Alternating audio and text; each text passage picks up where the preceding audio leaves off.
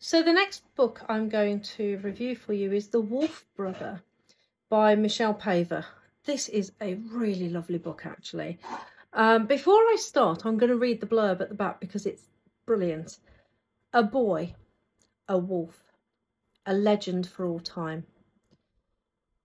Torak is alone, wounded, terrified and in the, on the run. His father lies dead, slaughtered by a demon bear. His only ally is an orphaned wolf club, cub. Sorry, I haven't got my glasses on. Um, really like this. So Torak's mom is already dead, so he's raised by his father. But obviously, very early on in the book, as you've just read, his father dies. So he is in a whole heap of adventure and having to deal with his situation. And I've got to think how I review this for you without giving too much away. So he has a wound on his arm, which is important. And he's wandering around, he's starving and he needs food. And he has to, he, he his dad gave him lots of information and told him what to do and what have you. And he doesn't actually always remember this and do this. So he's really hungry and he's travelling around. And he's scared that the same thing that took may come and take him. I'm trying not to give it away for you. So he comes across a wolf cub that he intends to kill. But then it turns out that he becomes friends with this wolf cub and he can talk to wolves and everything just changes. And I love this because I'm an animal communicator. Talk to my animals. Love my husky who I see as a wolf. So I really like stories like this because it just allows me to just go into my imagination and enjoy it more. Really like this book. So then he, this is prehistoric fantasy, uh, sorry, so historic fantasy set in Eurasia. And he comes across this clan who think he's quite weird and this wolf friend they're not happy with. So they plan to kill him um, but before they kill him, they realise that actually he might have something here and he's part of a prophecy. And then things start to change and um, then it starts to get a little bit more interesting.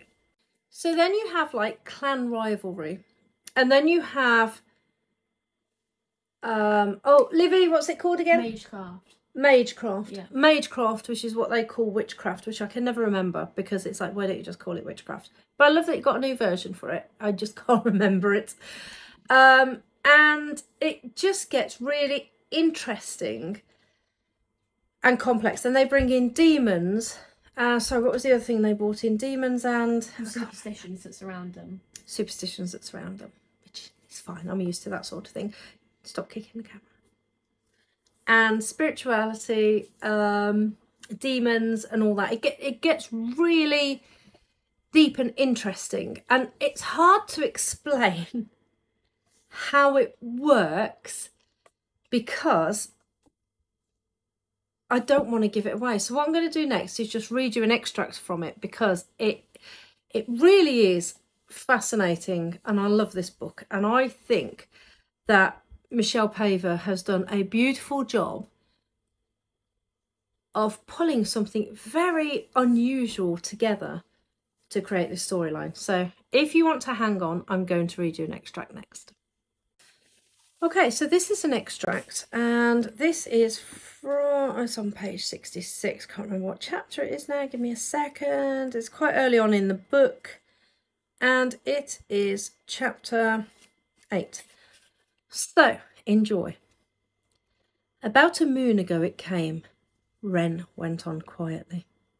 Like a shadow it darkened the forest, killing wantonly, even killing other hunters, wolves, a lynx.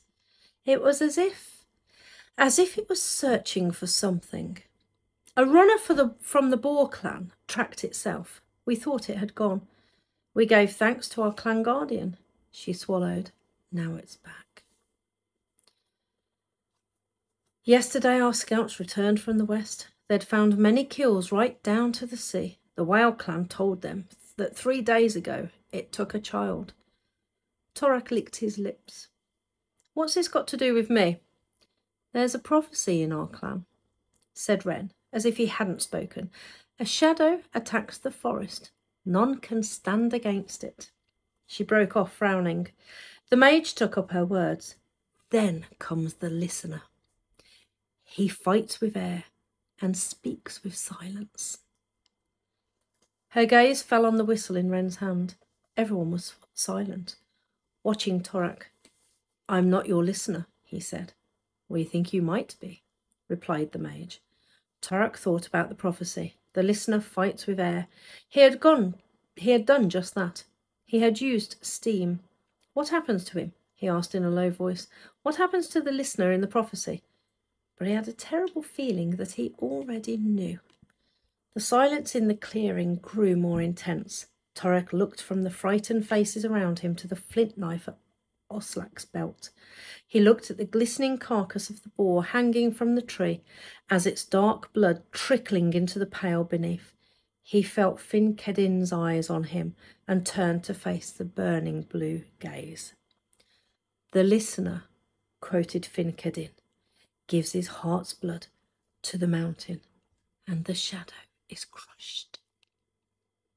His heart's blood.